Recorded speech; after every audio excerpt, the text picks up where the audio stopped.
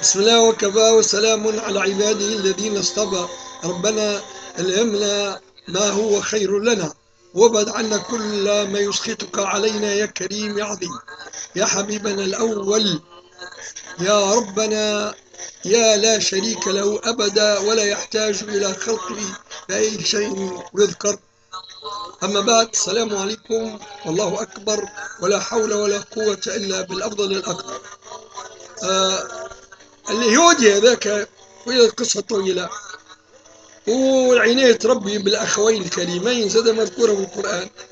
بلا ترب بلا أني معكما أسمع وأرى. ما أنا بستغرب قال لي ربي هو حاضر مع كل خلق ما صغر شأنه وعظم يكون شيء أدنى من القايل ولا وأعلى شأن من مجرة عظيمة. الله دائما حاضر مع خلقه يراقب وهو الذي يحيي وهو الذي يميت ولا حاكم بعده ولا اعتراض على حكمه. جئته القصة اللي وقعت تورينا اللي بنو صهيون اللي تعمل معهم.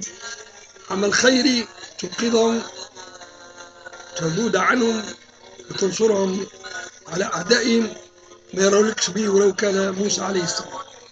بل هنا مشيش شهادة باطل سترون ذلك عبر هذه الآية الكريمة والرب فيها.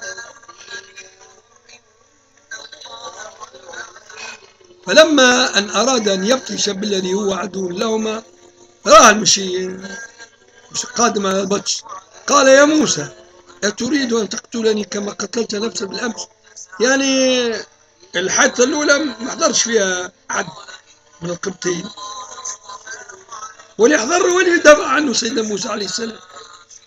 بما أنه هو خبيث بيتوقع من غيره ولو محسن إليه في السابق يتوقع منه إلا الشر. هكذا نقول لكم يا أمة الإسلام إن كنتم خالصين لرب الأنام. ما عليكم من تفهموا الحقيقة بها تبلسون أهل اللعنة والعدوان والخسران المبين. نعود إن شاء الله تعالى.